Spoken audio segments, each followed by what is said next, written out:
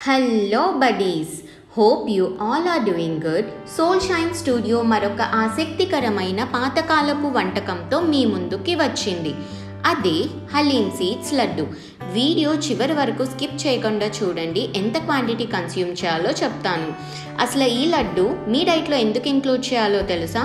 ఎందుకంటే హలీం సీడ్స్ రక్తహీనతని వెయిట్ లాస్ని అండ్ మలబద్ధకాన్ని తగ్గిస్తుంది. ఇమ్యూనిటీని అండ్ తల్లిపాల ఉత్పత్తిని పెంచుతుంది. మోర్ ఓవర్ ఇర్రెగ్యులర్ పీరియడ్స్ని రెగ్యులేట్ చేస్తుంది. సో ఇంత హెల్దీ రెసిపీ ఎలా చేసుకోవాలో ఇప్పుడు ప్రాసెస్లోకి వెళ్దాం. వన్ కప్ ఆఫ్ హలీమ్ సీడ్స్లో టూ కప్స్ కొబ్బరి నీళ్ళు పోసి టూ అవర్స్ నానపెట్టండి. ప్యాన్ వేడయ్యాక ఫోర్ టేబుల్ స్పూన్స్ నెయ్యి వేసుకొని ఫోర్ కప్స్ ఆర్గానిక్ తరిగిన బెల్లం వేసుకోండి. బెల్లం కరిగి తీగ పాకం వచ్చాక నానబెట్టిన హలీం సీడ్స్ వేసుకొని బాగా కలపండి. కొంచెం సేపు ఆగి టూ కప్స్ ఎండు కొబ్బరి తురుము వేసుకొని బాగా కలపండి. చివరలో కొంచెం యాలకుల పొడి వేసుకొని మళ్ళీ కలపండి.